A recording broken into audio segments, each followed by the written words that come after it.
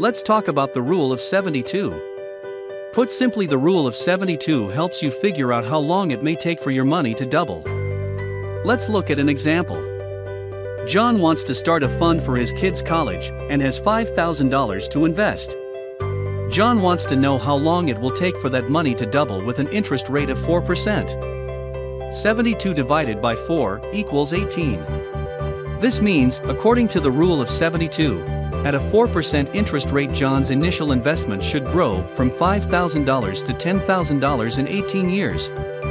A good start to a healthy future for his kids. Using the rule of 72, you can begin to understand the effect of compounded interest.